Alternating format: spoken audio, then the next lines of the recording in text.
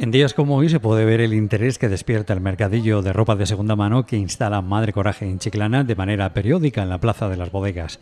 Que por tan solo un euro te puedas llevar un pantalón o una camisa es un chollo, especialmente para aquellos que no puedan o no quieran pagar mucho más. De ahí esta gran cantidad de personas que se agolpa en torno al puesto que este colectivo instala en este lugar. Aunque en el norte de Europa este tipo de puestos sean muy habituales, en nuestro país todavía no han terminado de despegar.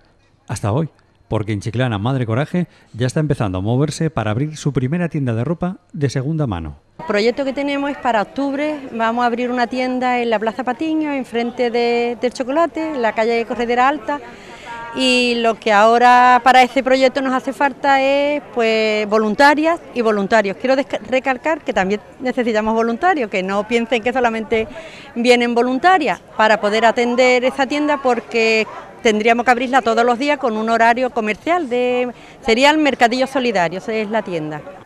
El fin último, por tanto, es disponer de un espacio estable en el que poder dar salida a estas prendas que muchos particulares ya no quieren y que las donan a esta ONG.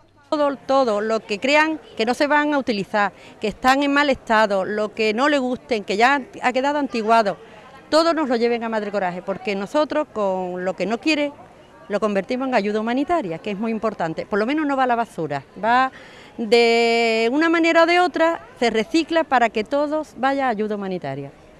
Desde Madre Coraje intentarán en breve poner en marcha este local y esperan que otros negocios que ya no utilicen estanterías o cualquier tipo de mobiliario también puedan donarlo.